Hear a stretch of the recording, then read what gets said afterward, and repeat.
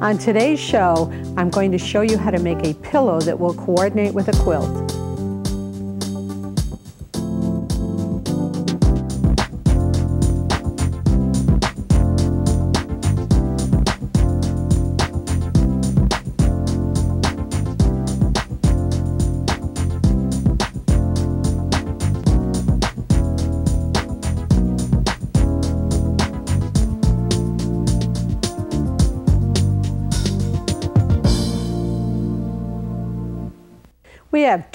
Projects today. Let's take a look at the quilt behind me. It's called a pinwheel quilt and it's pretty easy to do. Then our second project is a coordinating pillow. And I have that right here using the same colors. So let's take a look at how we'll get started. First of all, we have to choose the fabrics that we're going to use. And I started with this fabric. I really like that fabric. You know, every once in a while a fabric just talks to you and says, buy me. Well, I really like this one. Uh, probably a lot of people wouldn't, but I did. And then to make my quilt and pillow, I wanted to pick out two colors, one light and one a little darker, that were in here. Now, I could have gone with the blue, or the purple, but I decided I wanted to really highlight the red fabric in here. So my second fabric is red, then my light fabric is a yellow, which picks up the lighter shades of yellow in this fabric. Okay, now that we have our fabric, I'm going to cut two and a half inch strips, and they'll be used for both projects. And I've already done that, and I've sewn my, my strips together. And then for the quilt, I'm going to cut these pieces into squares. So I have to know how wide my two strips, my strip sets, my strip set is, and it's exactly four and a half inches. So if I come here and straighten this by lining a ruler up, just turn it a little bit here, line the ruler up with a line right on the seam line to keep it straight. trim that edge. Then remember I said it was four and a half inches. So I'm going to come along here at four and a half inches. Place that line right at the edge. Now if you're cutting a lot of pieces, you might want to mark your fabric so that you always cut on the same line. And again, we want to line a line of the ruler right on the seam line. We have this line on our cut edge and cut our pieces and we have perfect squares. Now, what I like to do is give you what I call an accuracy test. And what that means is if you have a square cut, you should be able to fold it diagonally and it will meet at both corners. That's sort of a test because it's important that our pieces are the right size. All right, for the quilt then we have a lot of these pieces cut and we'll sew those together. And right here I have two of them. What we're going to do is make a pinwheel. I have two pieces sewn together here, matching just at the top and bottom. And then my seam allowance is pressed away from this cross seam. So I don't have a lot of bulk building up in the seam allowance. So the seam allowances would be pressed toward this solid strip with no seam and the same on this side. So then when we go to sew these together, we have an interlocking seam, and we've talked about that in this series, how that's an easy seam to match. So we would just sew here. Interlocking means this top seam is going away from you as you sew. The bottom one is towards you, so those seams will just sort of fit together and lock. And then we press our seam allowances. Here we go, right here. And you can see the center seam can be pr uh, pressed to either side. Doesn't matter. And we have our pinwheel. Now, after you have this pinwheel made, then you need to measure it because depending on the width of your seam allowance, and you know, we always stress a quarter of an inch seam allowance. I teach a lot of classes, and in one class, we may have three or four different widths of seam allowance, and everybody thinks they're a quarter of an inch. So you use your seam allowance. So what you need to do now is to measure this whole pinwheel. And it's about eight and a quarter inches. So now we need to cut a strip that width and then cut that into a square. All right, so it will fit our pinwheel. And it's important that it fit your pinwheel and not mine. And to make the quilt, we just alternate the squares and the pinwheels. Okay, let's go on now and take a look at how we're going to cut our, our star for our coordinating piece. We use the same strip of fabric, the two strip set. I'll put it this way. And we want to make an eight pointed star.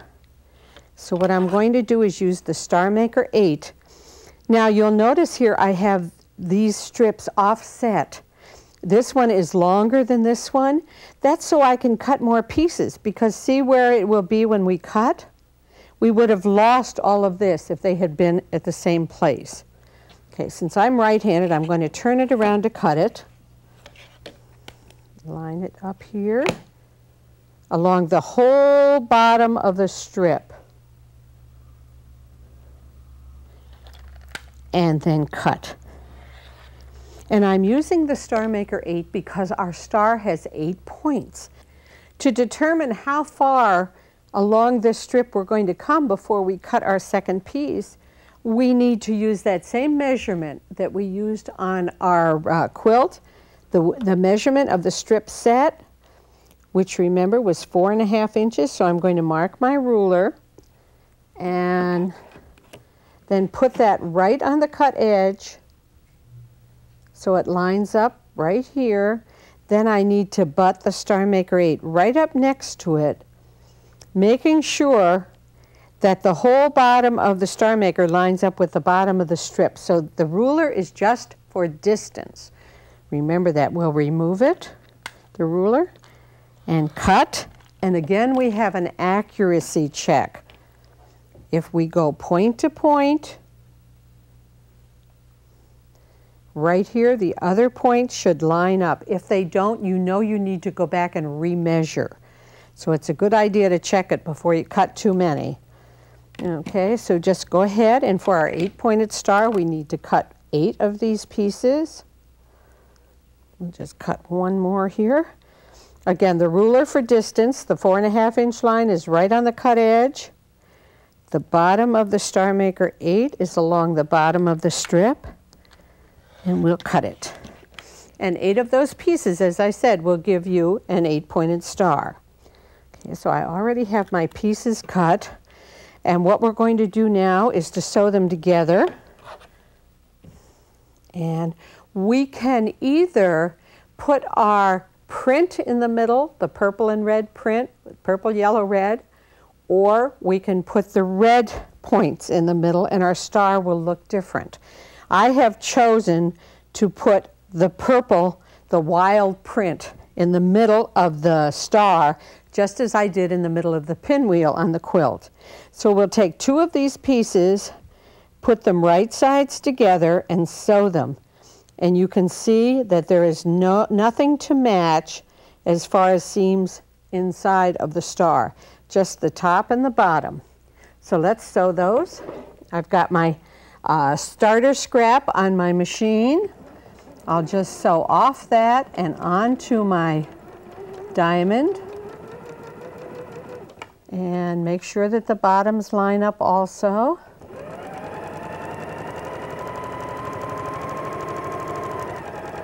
And then we'll go right to the other two. And remember, we're putting this print in the middle, so those are the points that have to match. And our star is well on its way to being finished. Again, we line up the bottom.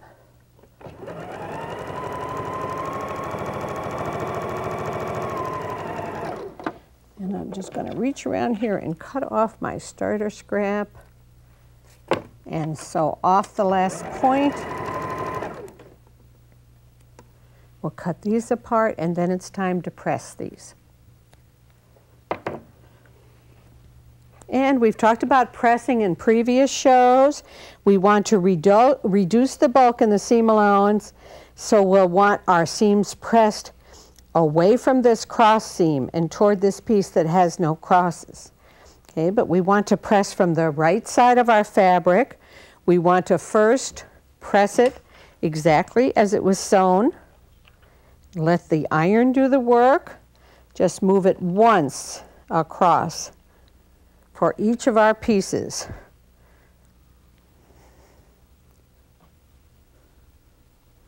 Here we go.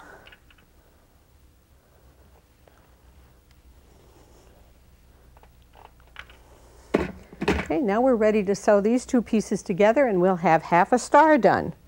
And what we want to do is sew one half of the star and then the other half.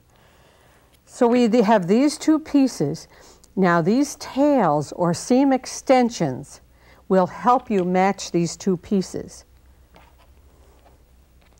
Just line those up. And now we can do a needle match. We talked about this in our last show. A needle match is where you put your needle down right where the pieces are going to uh, cross each other. And let's do that. First we'll put one piece in. And let's sew right, on, right to almost where it starts. We want the needle right down before we get onto the fabric. Okay, then we'll take this piece, line it up, and we also want to line up the seam line. And you usually can just pull that back and make sure it's lined up. And it should line up perfectly there. This is one time it would be better not to use a pin, but if you're more comfortable with it, line up those seam lines and use a pin. Now we'll just hold the ends together sew off and again we'll sew onto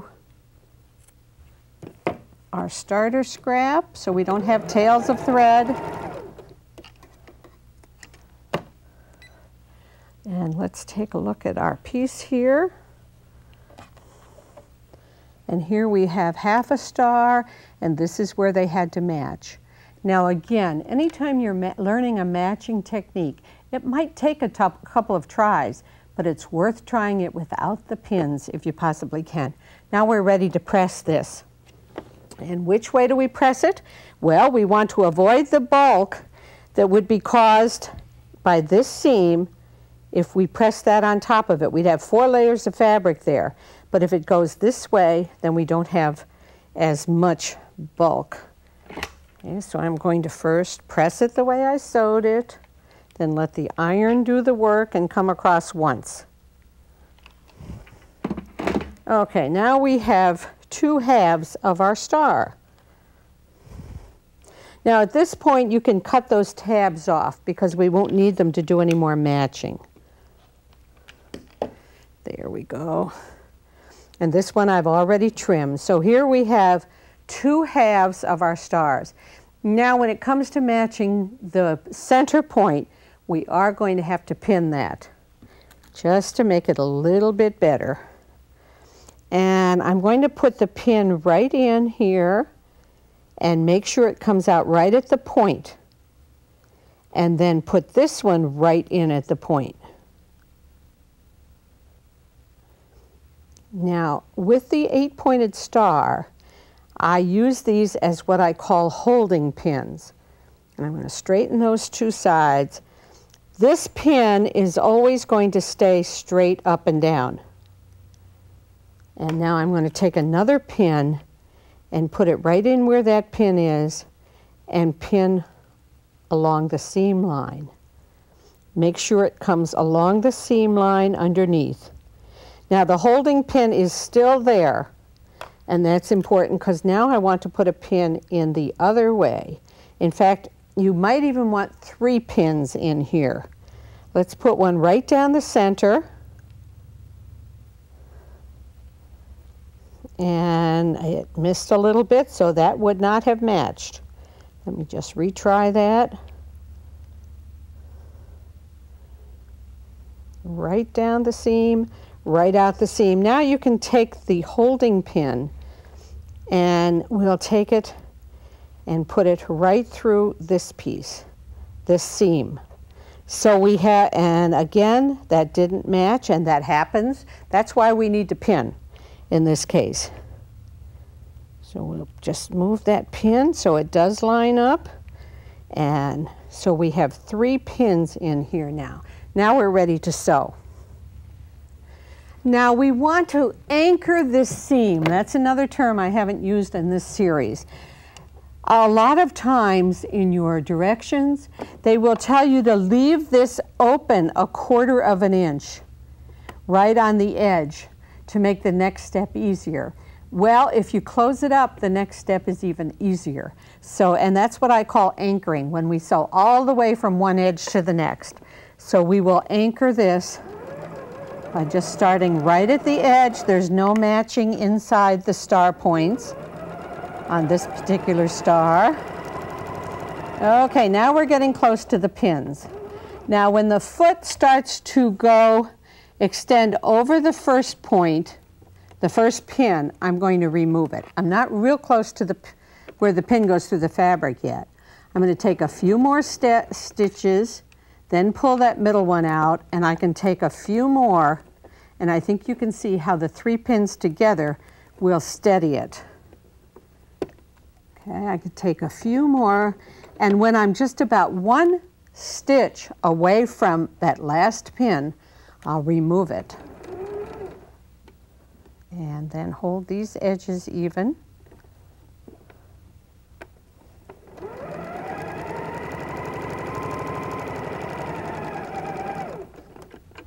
Well, stop and line them up as often as you need to. That's critical. Okay, let's go over now and see how we did and see how our point matches. And the first time you try it this way, it probably won't match but it should get there in a hurry. And so at this point, we have a seam allowance that I'm going to first press to one side. It doesn't matter which side. First, we'll press it as we sewed it. But remember, we want to reduce the bulk. So now I'll press it to one side. And then when we're sure we don't have any creases along that seam, then we'll press that seam allowance open because we have quite a bit of bulk right in here. So let's press that open. And now we do have to press from the back to press it open. And just come along here.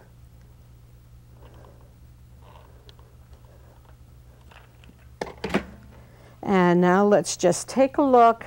And I have a, a piece finished here, ready to go pressed, and you've got a nice center point.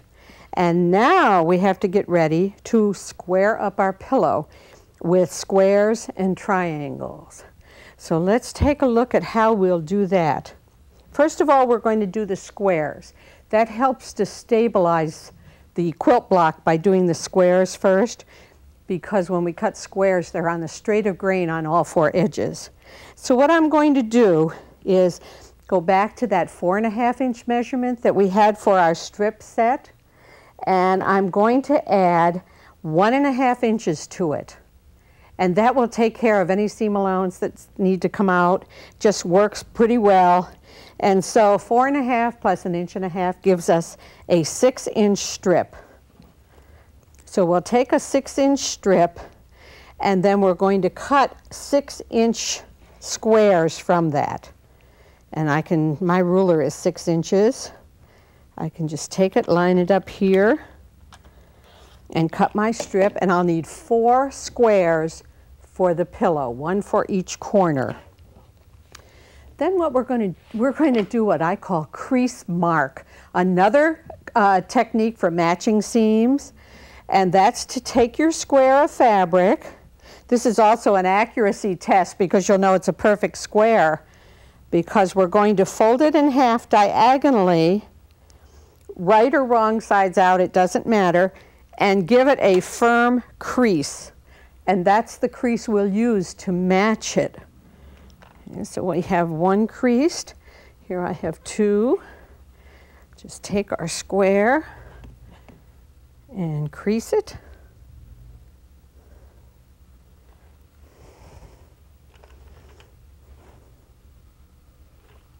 Okay, now let's take our pieces and here's our star. And these will go in the, the four corners. Let's take our piece here and we want to line it up so that the crease goes following the seam line in the star. We'll sew this side to this side, but we're going to sew with this square underneath. So let me turn it. We have a starting point on the seam, but what we need to do is mark the seam. I'm putting a pin in one quarter of an inch in from here, and it should go through the crease mark right underneath. And we'll just sort of play with those edges a little bit. And then we turn the pin and go this way, which is really, if you look at it, it should be right along the quarter inch mark underneath. So if it does that, matches right at the quarter of an inch, the seam and the crease, and then goes along that edge, then we can go ahead and sew that. We're going to start right on the seam line. So let's uh, put the needle down right in the seam, right where the pin is. And if it's hard to see on your fabric, the fact that the pin's there, the shininess of the pin might help you to see it. So I'm right, the needle is right down in the center of the seam. I'll remove the pin Put the presser foot down and we'll sew to the edge.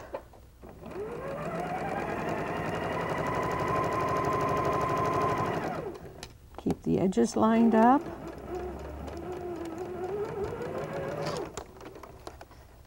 All right, and now we go back and now we have a guideline on our yellow fabric. So we'll fold our star line this piece up with this edge and it'll look like this. Your star will be folded right where we started. The crease line is right on the edge. So we'll start sewing right there. And again, it takes a little bit of practice. We'll put the needle down right in on the seam line exactly where we stopped sewing. Now if you need to put a pin in here to see that seam line, go right ahead and do that.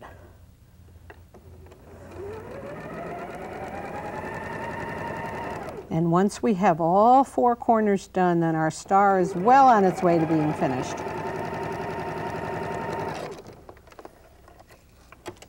Okay, and let's take a look at our square. We have a nice square corner. And again, you'll do all four corners that way. And you would press the seam allowances toward the star. All right, let's take a look at how we're going to cut the triangles. This seems to give quilters a lot of problems because the straight of grain has to be on the outside of the triangle. So I'm going to take a, a larger piece of fabric of the yellow and I'm going to start by squaring up, and I've already done this one end, like this. Remember our strip set, it was four and a half inches? We add two inches to that, that gives us six and a half, and we double it. Just take my word for it, that's what works. And you get 13 inches. So we have this squared up. I'm just going to reverse the Starmaker 8 here, and I'm just going to put a mark at 13, right, a diagonal mark right here. And then I'm going to line up the ruler with this and cut it. And let me just go ahead and do that. So we actually have a square that we can cut into all four triangles. And now, using the Starmaker 8, we'll just go corner to corner and cut it. And we'll get all, as I said, all four of our triangles. Here's one cut. Here's another cut. We take our triangles and we fold them and crease them. We'll line up the creases in the triangle with the seam line here, pin it the same way we did for the squares and sew it the same way. And you'll have your finished pillow. And I hope you enjoy this project, both the quilt and the coordinating pillow. And I hope you join me on my next show when I'll share some more quilting ideas with you.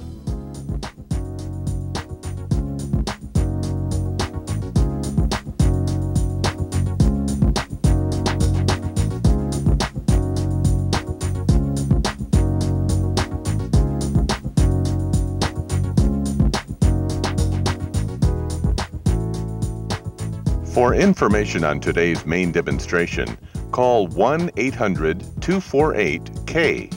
That's 1-800-248-5293. Or write to us at Kaye's Quilting Friends, Post Office Box 456, West Branch, Michigan 48661.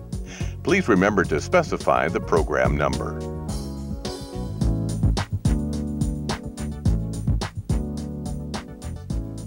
Kaye's Quilting Friends is brought to you in part by Janome America, OttLite Technology, Clover Needlecraft, Sulky of America, and Brandy's. Our thanks for joining us for this edition of Kaye's Quilting Friends. We hope the ideas shared with you in this program will make your quilting more enjoyable. Please join us again on the next Kaye's Quilting Friends.